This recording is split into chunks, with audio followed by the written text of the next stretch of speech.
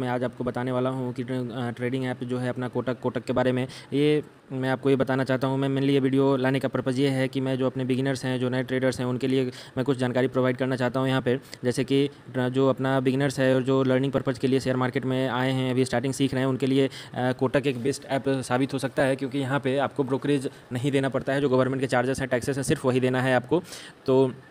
ये आप learning purpose के लिए बहुत ही सही है और जैसे कि बाकी सारे ऐप्स हैं, उसमें आपको चार्जेस देना पड़ता है तो या तो आप ट्रेड में प्रॉफिट में जा रहे हैं और लॉस में जा रहे हैं, आपको चार्जेस देना ही देना है, उनका जो पर्टिकुलर फिक्स चार्ज है पर ट्रेड पे, वो आपको देना है, यहाँ पे कोटक पे आपको ये नहीं देना है तो कोटक एक बेस्ट ऐप हो सकता है।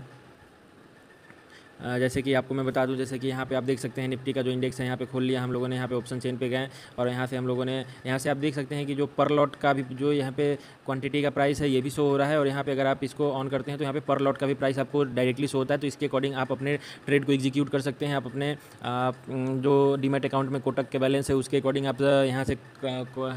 काउंट करके आप सीधे ट्रेड ले सकते हैं, इधर दे सकते हैं, कॉल प्राइस है, पुट प्राइस है, यहाँ पे सिंपली आपको, जैसे कि मैंने कॉल पे किया, कॉल आपको लेना है तो आप बाई किए बाई किया आपने मार्केट ऑर्डर पे आपको प्लेस करना है तो मार्केट ऑर्डर पे प्लेस किया और सीधे स्वाइप टू बाई करेंगे और ये आपका ट्रेड एग्जीक्यूट हो जाएगा। जैसे कि अभी तो शाम हो रहा है तो इसमें आपका ट्रेड एग्जीक्यूट नहीं होगा क्योंकि मार्केट ओपन है तो यहाँ पर इसको कैंसिल कर दे रहा हूँ मैं। तो आप देख सकते हैं इसमें बहुत ही सिंपल है ट्रेड लेना और बेचना।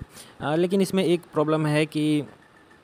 इसका जो चार्ट है उतना अच्छा नहीं है तो आप अपने किसी अदर डिवाइस पे चार्ट लगा के आप अपना शेयर ले सकते हैं ट्रेड ले सकते हैं। और बाकी ये ऐप बेस्ट है। तो ये आज जानकारी मैंने आपको प्रोवाइड करी है आज।